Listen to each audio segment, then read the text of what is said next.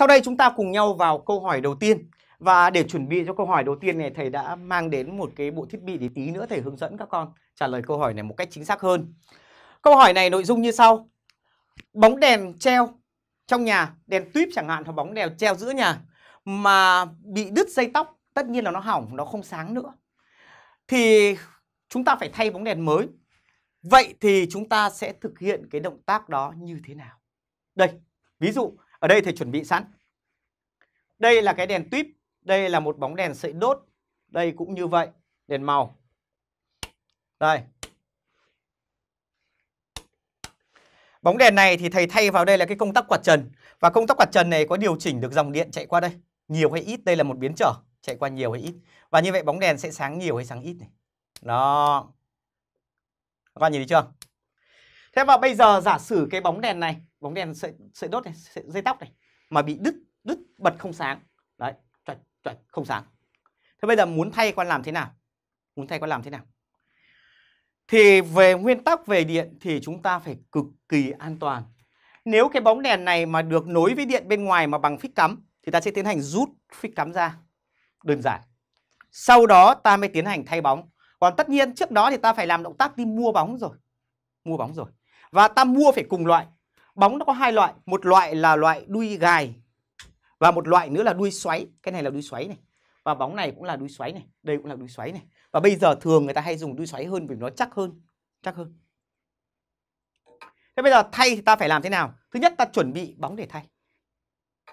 Thứ hai nữa là ta phải đảm bảo an toàn bằng việc là ta sẽ ngắt các dụng cụ bảo vệ, ngắt điện. Ví dụ áp Aptomat. Aptomat này thì thực ra là nó chỉ nối trên một dây thôi. Và nhỡ thợ điện nó đấu cho nhà ta ẩu. Đấu cho nhà ta ẩu. Hoặc là có Aptomat này, à Aptomat này hai dây. Nhưng mà nhỡ nó đấu ẩu hoặc có lý do gì đó để đảm bảo an toàn hơn thì ta có thể chạy xuống dưới nhà rồi ta cắt cầu dao tổng. Đây này, cầu dao khi có điện nó sẽ biểu thị bằng cái đèn đỏ ở đây. Con nhìn được không? Cầu thao, cầu, cầu dao này. Mà khi mà có điện chạy qua cầu dao này thì nó hiện cái đèn đỏ ở đây. Đây hãy nhắc lại nhá. Nào. Đây là có điện này, đây là có điện này. Con sẽ ngắt.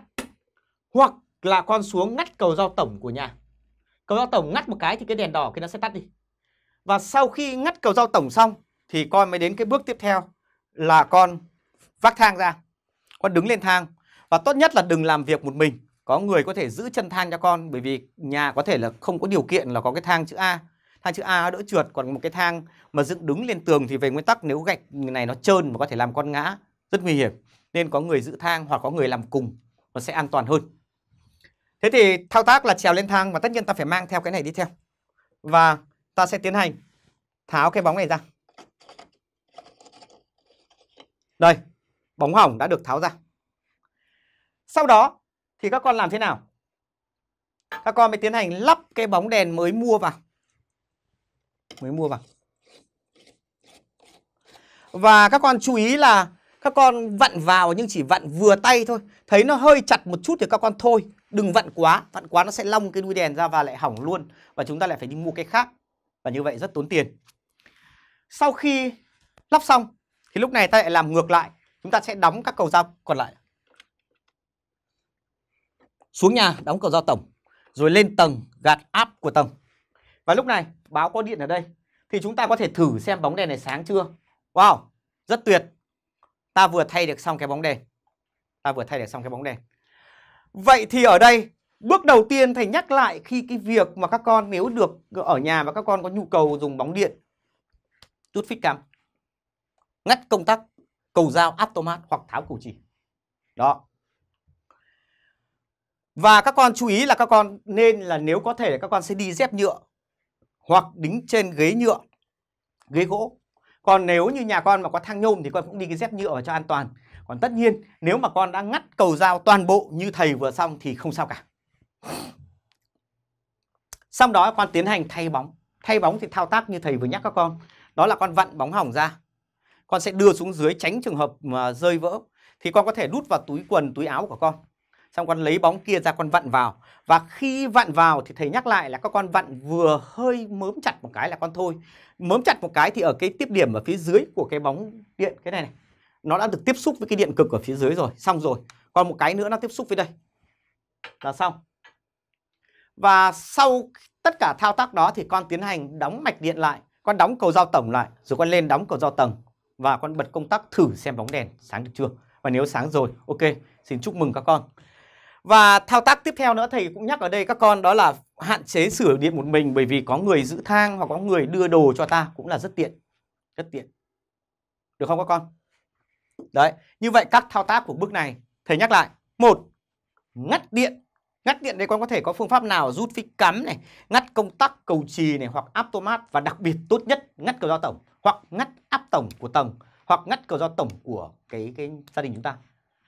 Tiếp theo là các con phải chuẩn bị dụng cụ an toàn như là thang an toàn và có người giữ thang nếu thang mà nó dễ trượt trên sàn. Đấy. Và các con đi dép cách điện. Còn tất nhiên nếu thao tác trên này mà an toàn rồi thì cái dưới này thì chỉ giúp các con là đề phòng cả ngẫn thôi. Ngẫn mà quên thao tác gì thì chúng ta đỡ bị giật. Sau đó chúng ta thao bóng, thay bóng rồi đó thì đấy là những thao tác cơ bản. Sau đây chúng ta cùng nhau vào câu hỏi đầu tiên. Và để chuẩn bị cho câu hỏi đầu tiên này thầy đã mang đến một cái bộ thiết bị để tí nữa thầy hướng dẫn các con trả lời câu hỏi này một cách chính xác hơn. Câu hỏi này nội dung như sau. Bóng đèn treo trong nhà, đèn tuyếp chẳng hạn hoặc bóng đèn treo giữa nhà mà bị đứt dây tóc, tất nhiên là nó hỏng, nó không sáng nữa. Thì chúng ta phải thay bóng đèn mới. Vậy thì chúng ta sẽ thực hiện cái động tác đó như thế nào? Đây, ví dụ ở đây thầy chuẩn bị sẵn. Đây là cái đèn tuyếp đây là một bóng đèn sợi đốt. Đây cũng như vậy. Đèn màu. Đây. Bóng đèn này thì thầy thay vào đây là cái công tắc quạt trần. Và công tắc quạt trần này có điều chỉnh được dòng điện chạy qua đây. Nhiều hay ít. Đây là một biến trở. Chạy qua nhiều hay ít. Và như vậy bóng đèn sẽ sáng nhiều hay sáng ít này. Đó. Các bạn nhìn thấy chưa? Thế và bây giờ giả sử cái bóng đèn này, bóng đèn sợi, sợi đốt này, sợi, dây tóc này mà bị đứt, đứt bật không sáng. Đấy, Chuẩn, không sáng. Thế bây giờ muốn thay con làm thế nào? Muốn thay con làm thế nào?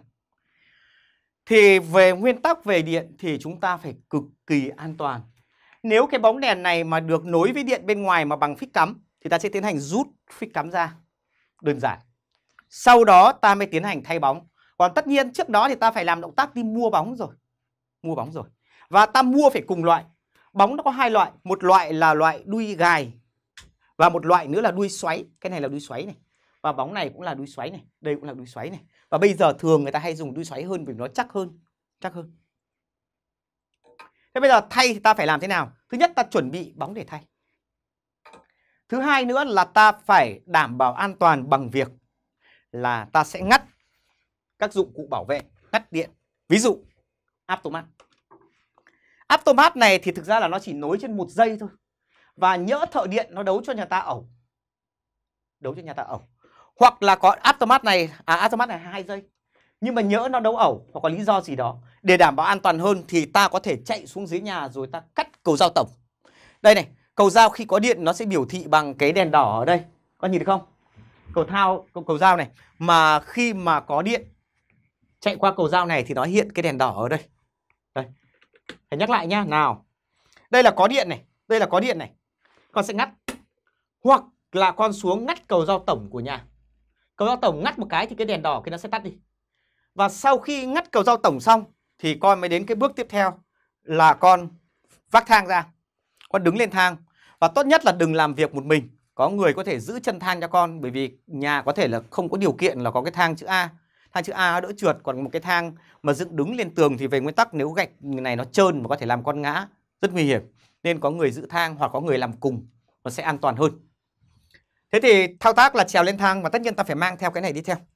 Và ta sẽ tiến hành tháo cái bóng này ra. Đây, bóng hỏng đã được tháo ra. Sau đó thì các con làm thế nào? Các con mới tiến hành lắp cái bóng đèn mới mua vào. Mới mua vào. Và các con chú ý là các con vặn vào nhưng chỉ vặn vừa tay thôi. Thấy nó hơi chặt một chút thì các con thôi. Đừng vặn quá. Vặn quá nó sẽ long cái đuôi đèn ra và lại hỏng luôn. Và chúng ta lại phải đi mua cái khác. Và như vậy rất tốn tiền. Sau khi lắp xong thì lúc này ta lại làm ngược lại. Chúng ta sẽ đóng các cầu dao còn lại. Xuống nhà đóng cầu dao tổng. Rồi lên tầng gạt áp của tầng. Và lúc này báo có điện ở đây. Thì chúng ta có thể thử xem bóng đèn này sáng chưa. Wow, rất tuyệt. Ta vừa thay được xong cái bóng đèn. Ta vừa thay được xong cái bóng đèn. Vậy thì ở đây Bước đầu tiên thầy nhắc lại khi cái việc mà các con nếu được ở nhà và các con có nhu cầu dùng bóng điện tút phích cắm, ngắt công tắc cầu dao automat hoặc tháo cầu chỉ đó và các con chú ý là các con nên là nếu có thể các con sẽ đi dép nhựa hoặc đính trên ghế nhựa ghế gỗ còn nếu như nhà con mà có thang nhôm thì con cũng đi cái dép nhựa vào cho an toàn còn tất nhiên nếu mà con đã ngắt cầu dao toàn bộ như thầy vừa xong thì không sao cả Xong đó con tiến hành thay bóng. Thay bóng thì thao tác như thầy vừa nhắc các con. Đó là con vặn bóng hỏng ra. Con sẽ đưa xuống dưới tránh trường hợp mà rơi vỡ. Thì con có thể đút vào túi quần, túi áo của con. Xong con lấy bóng kia ra con vặn vào. Và khi vặn vào thì thầy nhắc lại là các con vặn vừa hơi mớm chặt một cái là con thôi. Mớm chặt một cái thì ở cái tiếp điểm ở phía dưới của cái bóng điện cái này này. Nó đã được tiếp xúc với cái điện cực ở phía dưới rồi. Xong rồi. Còn một cái nữa nó tiếp xúc với đây. Là xong. Và sau tất cả thao tác đó thì con tiến hành đóng mạch điện lại. Con đóng cầu giao tổng lại, rồi con lên đóng cầu giao tầng. Và con bật công tắc thử xem bóng đèn sáng được chưa. Và nếu sáng rồi, ok, xin chúc mừng các con. Và thao tác tiếp theo nữa thầy cũng nhắc ở đây các con đó là hạn chế sửa điện một mình bởi vì có người giữ thang hoặc có người đưa đồ cho ta cũng là rất tiện. Rất tiện. Được không các con? Đấy, như vậy các thao tác của bước này thầy nhắc lại. Một, ngắt điện Ngắt điện đây con có thể có phương pháp nào rút phích cắm này, ngắt công tắc cầu trì này hoặc áp tomat và đặc biệt tốt nhất ngắt cầu giao tổng hoặc ngắt áp tổng của tầng hoặc ngắt cầu giao tổng của cái cái gia đình chúng ta. Tiếp theo là các con phải chuẩn bị dụng cụ an toàn như là thang an toàn và có người giữ thang nếu thang mà nó dễ trượt trên sàn. Đấy. Và các con đi dép cách điện. Còn tất nhiên nếu thao tác trên này mà an toàn rồi, thì cái dưới này thì chỉ giúp các con là đề phòng cả ngẫn thôi ngẫn mà quên thao tác gì thì chúng ta đỡ bị giật sau đó chúng ta thao bóng, thay bóng rồi, đó, thì đấy những cái thao tác cơ bản